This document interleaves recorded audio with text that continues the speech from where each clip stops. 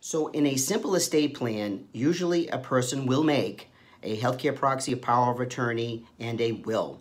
Now a healthcare proxy is a simple agency, as we say, and the maker will appoint someone that they trust, preferably a, a loved one, to make decisions on behalf of them should they become sick and not able to make those decisions. So the agent will tell the doctors what to do if the maker gets sick.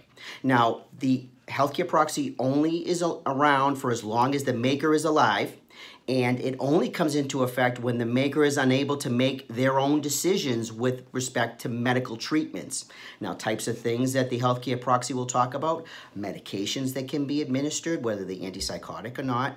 Uh, they'll talk about life support, should that become necessary, and whether they want the agent to keep them on life support. Now, once again, once the maker passes away, the healthcare proxy passes away with them. Dave Ceruolo, CeruoloLaw.com.